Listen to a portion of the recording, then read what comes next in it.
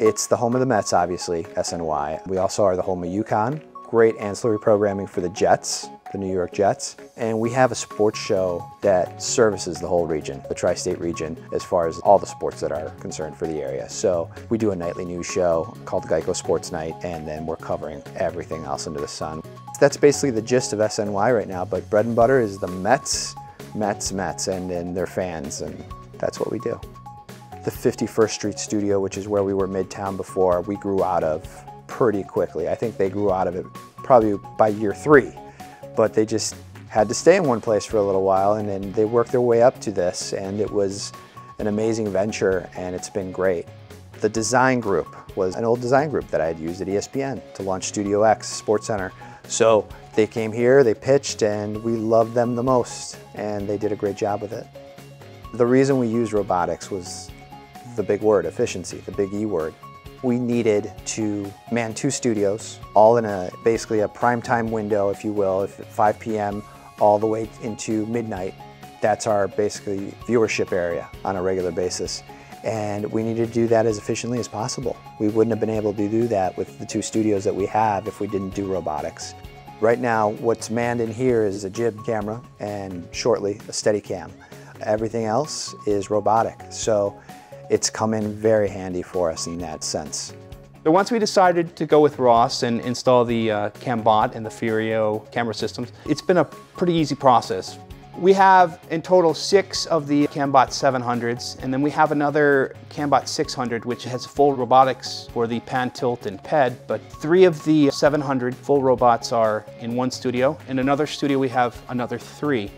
And the reason we went with the fourth camera, so to speak, or the seventh camera, depending on how you're looking at it, that camera is easy for us to move between the two studios. And then we also have a Furio SE, and that's been pretty amazing.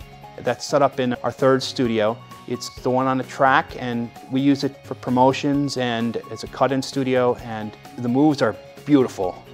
We wouldn't have been able to get off the ground with the personnel we have without doing it this way with robotics.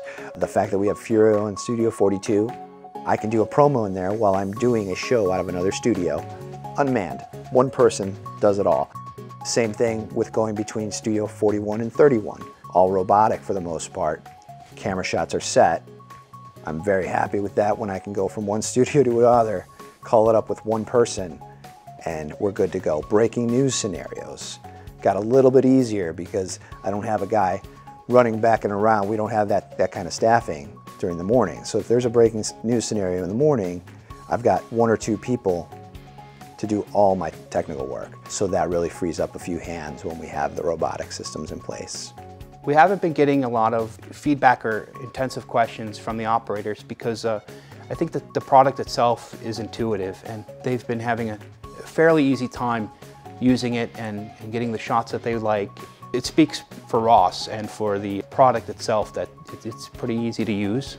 Ross's been pretty receptive to any questions that we've had. We've gotten pretty much everything we've wanted resolved fairly quickly, which is nice.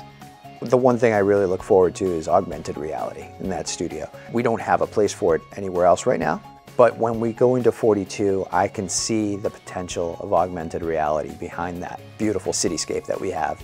I think it's the perfect space for it. You could take it a step further down the line, green screen the room, and you could do a whole little studio insert in there. That's, that's virtual reality. From a technology standpoint, we made the right investment.